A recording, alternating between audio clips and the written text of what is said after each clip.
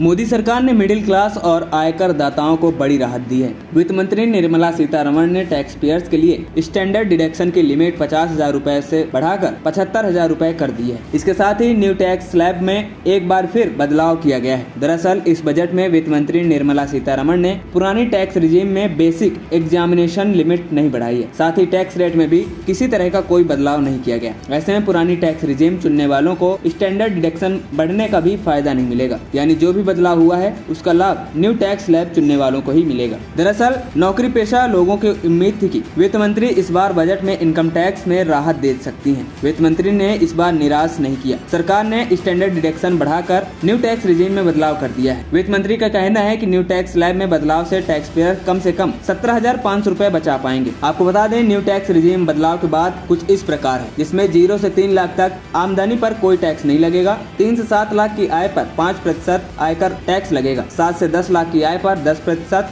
दस से बारह लाख की आय पर पंद्रह प्रतिशत टैक्स लगेगा। 12 से 15 लाख की आय पर 20 प्रतिशत और 15 लाख से अधिक पर 30 प्रतिशत आयकर टैक्स लगेगा। इसके अलावा वित्त मंत्री निर्मला सीतारमण ने कहा कि इनकम टैक्स प्रक्रिया को सरल बनाया जाएगा। उन्होंने कहा कि दो तिहाई लोगों ने नया टैक्स रिजीम को चुना है। लोगों में और न्यू टैक्स रिजीम एवं लोकप्रिय बनाने के लिए स्टैंडर्ड डिडक्शन को बढ़ाया गया है। साथ ही टैक्स स्लैब में बदलाव किया गया है। इससे पहले पिछले साल न्यू टैक्स स्लैब में बदलाव किया गया था। बता दें, इससे पहले न्यू टैक्स स्लैब था, जिसमें ज़ीरो से तीन लाख पर ज़ीरो प्रतिशत, तीन से छह लाख पर पाँच प्रतिशत, छह से नौ लाख पर दस प्रतिशत, नौ से बारह लाख पर पंद्रह प्रतिशत और बारह से पंद्रह लाख पर बीस प्रतिशत और पंद्रह से ज़्यादा पर तीस प्रतिशत टैक्स लगता था। वहीं बात करें ओल्ड टैक्स स्लैब की तो इसमें ढाई लाख तक ज़ीरो प्रतिशत, ढाई से पाँच लाख तक पाँच प्रतिशत, पाँच से दस लाख तक बीस प्रतिशत और दस लाख से ऊपर पर तीस प्रतिशत टैक्स लगता था। बता दें साल 2020 में सरकार ने पहली बार न्यू टैक्स स्लैब पेश किया था, जो अधिकतर आयकर दाताओं को पसंद नहीं आया था। फिर उसी में पिछले साल यानी